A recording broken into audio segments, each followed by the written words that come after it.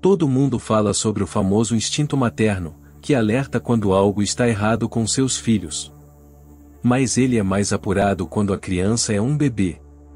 Alison notou que algo estava errado com os pés de seu bebê e foi ao hospital para verificar. Noah dormiu um pouquinho na parte da tarde. Acordou incomodado com alguma coisa. Chorava e resmungava. Alison começou a revistar o pequeno, tentando descobrir.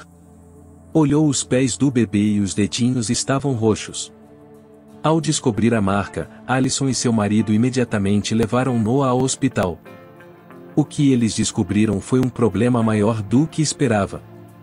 Olá! Seja bem-vindo a mais uma emocionante top história.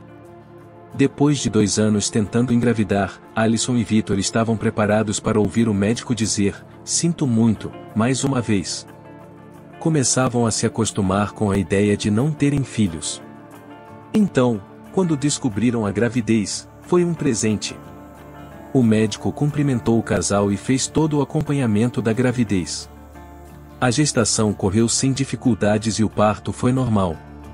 Tudo corria maravilhosamente bem. Estavam muito felizes com a família crescendo, um sonho que ambos tinham há muito tempo. Alison queria comemorar com uma festa de Natal inesquecível, para apresentar Noah a seus amigos e familiares. Já tinha tudo organizado. Alison colocou Noah na cama para um cochilo, sem suspeitar que algo estivesse errado. Acordou choramingando e incomodado. Alison ficou preocupada. Ele estava bem antes. O que poderia ser? Alison notou uma pequena marca nos dedos dos pés de Noah. Parecia uma mecha de cabelo presa no dedinho. Notou os dedos ficando azulados e inchados. Havia uma mecha de cabelo amarrada em seus dedinhos. Algumas pessoas podem dizer que isso não valeria a pena se preocupar, mas ela ficou chocada com o que aconteceu, pois não sabia que tal coisa era possível. Alison e Victor removeram o máximo de cabelo possível e a marca continuava, então tomaram a decisão de levar Noah ao hospital imediatamente, ao invés de arriscar a chance de se tornar um problema maior. Ao chegar ao pronto-socorro, os médicos levaram o bebê para o consultório e estavam preocupados. Alison e o marido não se continham de tanto nervoso. O que estava acontecendo? Por que demoravam tanto? Passou mais de uma hora até que conseguiram tirar o cabelo dos dedinhos de Noah. Era uma tarefa delicada. O médico voltou e disse que se Alison não tivesse tomado medidas e removido o cabelo imediatamente, eles poderiam ter que amputar os dedos de Noah. O que tinha acontecido com Noah é conhecido como torniquete de cabelo, ou síndrome do torniquete. Ocorre quando o cabelo fica enrolado no membro ou nas extremidades de um bebê e pode se tornar muito grave se cortar a circulação sanguínea nesse membro, explicou. Foi o raciocínio rápido e os instintos de Alison que salvaram o bebê desse destino. Disseram a ela que este problema poderia acontecer com qualquer um. Que é mais comum do que se pensa, já haviam visto casos com cabelos ou com fios de roupas.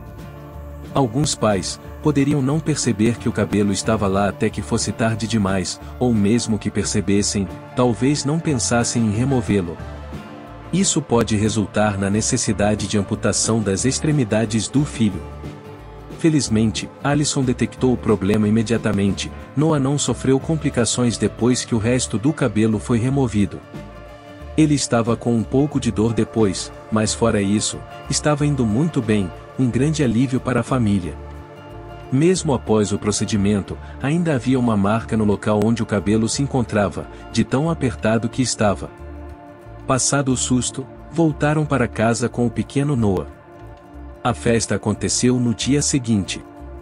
Todos ficaram alarmados com a história, mas felizes por tudo ter se resolvido sem sequelas. Tinham mais um motivo para comemorar. E assim, chegamos ao final da top história de hoje. Não esqueça de se inscrever e deixar seu like. Comente a sua opinião. Ative o sininho para não perder a próxima top história. Compartilhe esse conteúdo com seus amigos, conhecidos e familiares.